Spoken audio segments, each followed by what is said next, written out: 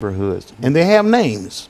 And um, just I did just did a thing with uh, with uh, one of the stations uh, talking about uh, uh, the uh, charter schools and all these things are prepping for this this this this new uh, neighborhood type of system that's in place. Uh, but what is actually happening is is sending poor people onto a reservation. It's almost like the Indians, as far as I'm concerned, because there's no new development for poor people. Um, uh, we did have to move there Cayce, but fought it off uh, with the support of NAACP that they came back with a thing called RAD. And with that RAD, uh, no one has to move, but we moved from Cayce to Ca- Cayce.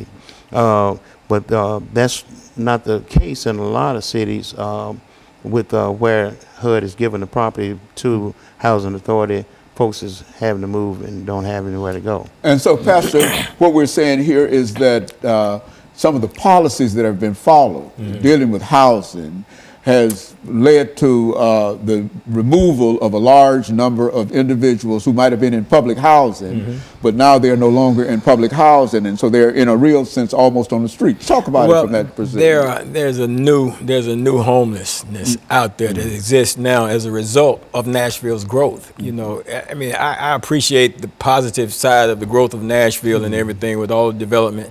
You know, if we can think back, you know, seven, eight years ago. Uh, during the uh, past presidential administration under Bush, eh, you walk, you drive around Nashville and you see foreclosure here, foreclosure there. I mean, the housing market just just down, you know, and people losing properties and stuff like that. Now, with all this growth that's taking place under this current administration, and, and Nashville is truly, truly booming and growing, and all the construction and everything, the, but this housing market that's uh, here now is pushing a lot of people out of housing because a lot of them are not unable to afford housing. You know, even with the Section 8 uh, situations and stuff like that, you got people that had properties that had their property certified for Section 8 uh, occupancies. Now that uh, all this growth is taking place, some of these homeowners are taking money, as Mr. Zirker had, had alluded to earlier in our conversation before, uh, and uh, taking monies and, and uh, re renovated their properties. What I'm trying to say, and, and as a result of that, they're putting it, they're getting market value for the properties, and so the people that would they have would have normally rented those properties under Section 8, they're unable to find it. And I work with the homeless, and I experience people with certificates, uh, Section 8 uh, f- uh, certificates, but cannot find housing. housing that would, that for the price of those certificates Absolutely, that they have. yes, Uh-huh. absolutely, because so many, you know, the housing market is, is, is just so high right now, you know. Uh, or is it good to say, I mean, can we say that uh, most poor peop individuals Mm-hmm. in town have been priced out of housing, and therefore they're almost homeless? Uh, Oh yeah, absolutely. Yes, they're very. they're been priced out of housing. They're almost homeless, and some of them are homeless. You know, you get calls, man, from where I work at. You know, uh, a woman and her children and stuff looking for somewhere to go. She's got a job, but she can't. She can no longer afford to stay in the mm. place that she is in mm. because the landlords are seeing the up the rise mm-hmm. in, in the market value for rentals, and they're raising these rents up to the level where people cannot pay them. Mm-hmm. Then you've got people that's coming in from bigger cities and stuff like that that's used to paying high dollar rents, and then the rents they paying here, they're actually saving, Saving, money. Mm-hmm. Whereas we're looking at it, man, this this is an escalation in the cost of rentals in Nashville, but these people are coming here renting because they're actually saving money. Whereas we're seeing it, that the prices and it's pricing other people out. Okay, and we're going to have, uh, we got 30 seconds in, in, in this uh, particular segment. But when we come back, Mr. Zirker, what we want to do is to look at uh, some of the uh, proposed solutions to some of the issues that we have, and, and we'll have 10 minutes to deal with that. But we're going to start with you, and anything that you have or your knowledge in terms of how we might be able to deal with that, this is when we want that information to come out. And we'll be back with our audience following this very, very short commercial break.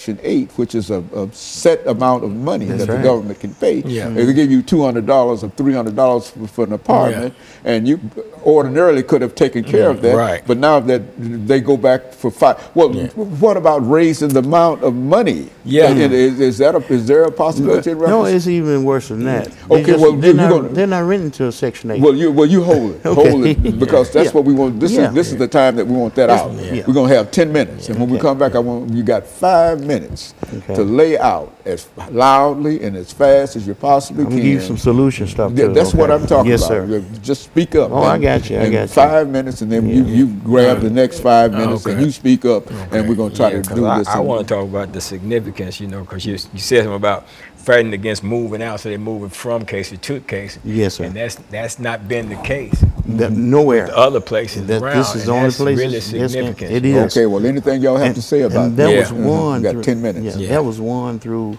fighting off what they had, the re- revitalization. Everybody had to move. They were going to tear down the whole thing. Mm-hmm. And where were we going? Mm-hmm. Yeah, I know. I see. Uh, That's what. That's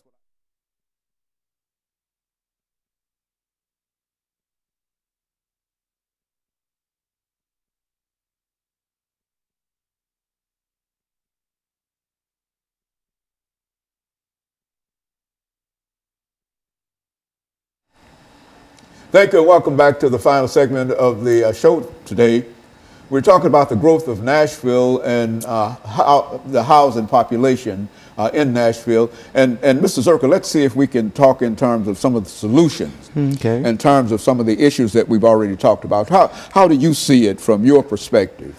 Good.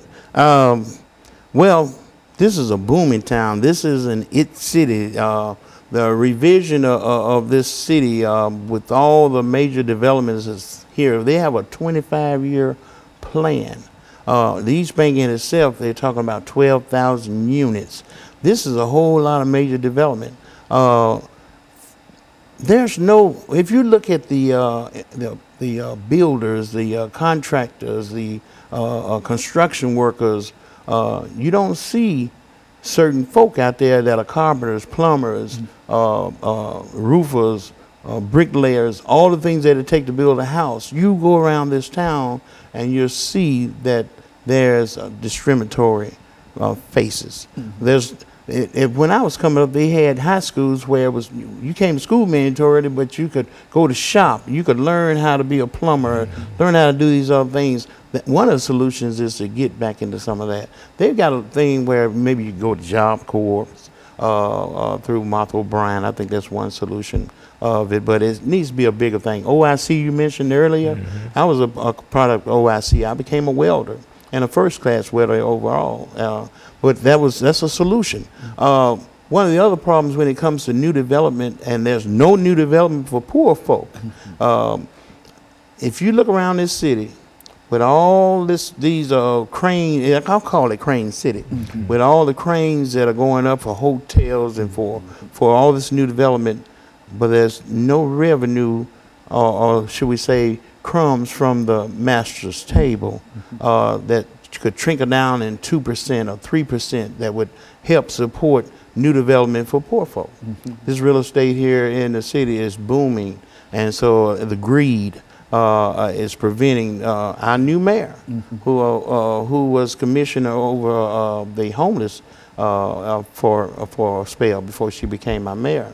I've I've shared with her my concerns, uh, but they would spend so many million dollars on a sidewalk because of, of a child who uh, mother put a, a little posting on it saying we need better sidewalks.